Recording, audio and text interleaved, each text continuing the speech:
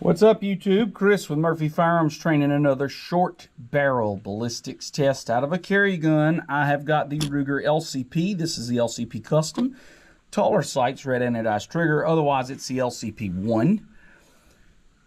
2.75 inch barrel. And I am going to be shooting the ARX copper polymer.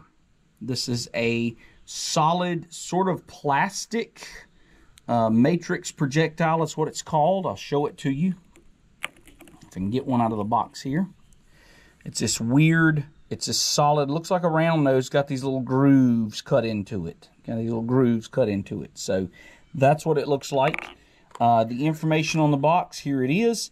It is a 56 grain, 56 grain projectile. Says it is traveling 1,260 feet per second with a muzzle energy of 197 foot-pounds. I will put the average velocity in the comments to this video. We're going to shoot this with the chronograph and see what we get. So we're going to chronograph this ammo, see what we get for velocity. I will put velocity and energy in the comments. Then we're going to shoot some water jugs and we're going to shoot some pine boards and see the hard barrier penetration. So, chronograph, here we go. This is the ARX chronograph readings.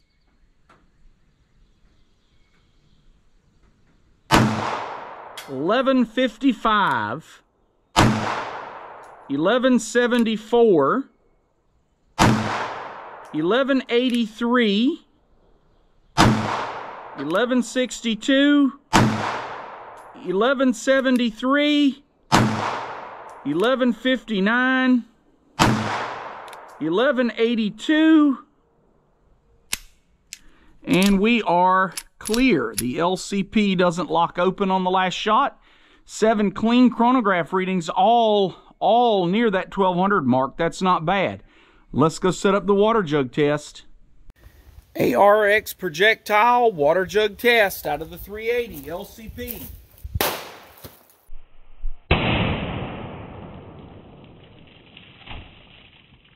Not bad, not bad.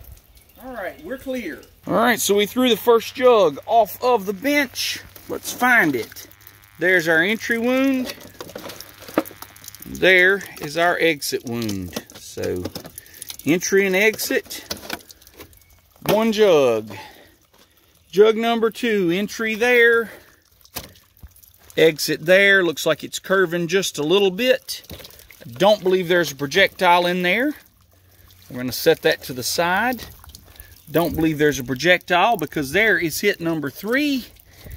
And it smacked the back of that jug pretty hard. Uh, did we lose it? Did we lose it? That's the question. Let's check. We did not. Down in here is a projectile. So let's get it out and see what we got. I expect no deformation from this projectile. Didn't get a ton of splash from it. There it is. Let's dig it out here. So there's our projectile. And let me, throwing water jugs is fun anyway. So there's our projectile, folks. Totally um, undeformed. That's pretty much how it looks in the case. Nothing, nothing changed there. There's your 380 projectile. Um, you know, if you're really concerned with penetration, I mean, that got three full jugs. It punched a hole in the back of the third jug. So that penetrated three full jugs of water. I mean, they're six and a half inches a piece, guys. You can do the math. I mean, that's pretty much 19 and a half inches of penetration. And uh, I don't know what that equates to in ballistics gel, but I like to see every hollow point I carry go through two jugs and stop in the third, or go through three and stop in the fourth. And that's pretty good for a short-barreled 380. So now we're going to set it up with a pine board test, and we're going to see how it does against a hard barrier. So, pine decking boards here. These are one inch thick, treated pine decking boards. We're going to take a shot at those and see what we get.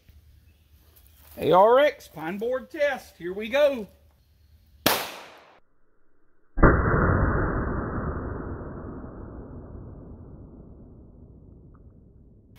All right. Got our first hit. Let's see what happened.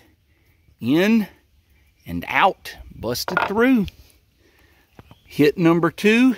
Oh, I see some like stippling around that. That's interesting. Hit number two is in there and out there. So two full boards. And she hit the third board really hard. Wow, I'm going to dig that out. Hit that third board really hard. Almost. Didn't make a mark on the back. Almost went through the third board. And there sits our projectile. And other than covered in sawdust, no worse for the wear. You could probably reload that. So, all right, two boards and into the third. So there you go. All right, so that is the ARX Matrix self-defense bullet. It is not a hollow point, a copper polymer bullet. So an interesting, interesting sort of bullet.